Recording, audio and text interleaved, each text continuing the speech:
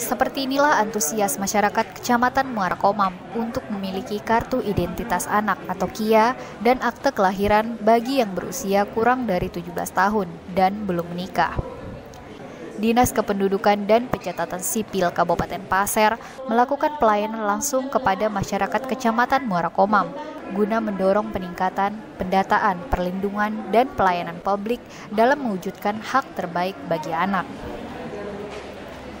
Disduk Capil Pasir juga membuka pelayanan perekaman kartu tanda penduduk yang memenuhi persyaratan, kartu keluarga, akte kelahiran, akte kematian, dan akte perkawinan. Pelayanan penduduk untuk 12 desa dan satu kelurahan ini dilaksanakan di Aula Kecamatan Muara Komam, Senin 19 Oktober. Pada masa pandemi COVID-19, pelayanan tetap mengedepankan protokol kesehatan.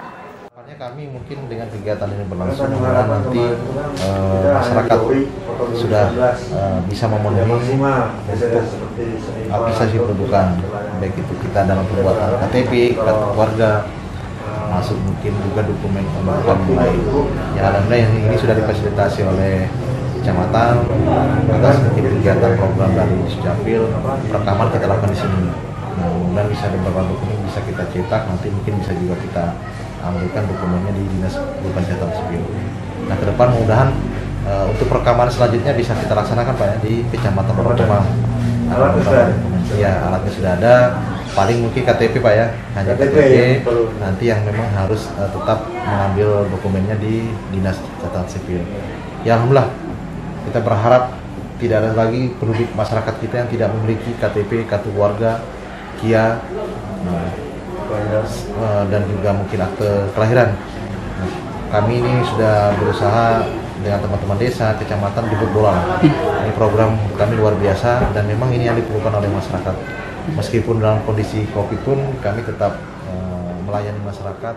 Pada hari ini di Capil memberikan pelayanan untuk yang ketiga kalinya itu Kecamatan Muara Komam kita berikan kesempatan pada tanggal 19 ini. Sebelumnya itu Kecamatan Lokali dan Kecamatan Mangkus pada hari ini kami memberikan pelayanan sepenuhnya warga Kecamatan Muara Komam 12 negara dan satu kelurahan hmm. dan pada hari ini kita lihat juga warga antusias untuk mendapatkan pelayanan khususnya pelayanan administrasi kependudukan seperti pelayanan perekam KTP, kartu keluarga, akte kelahiran, akte kematian dan kartu identitas anak. Kominfo Paser Muhammad Padlan mengabarkan.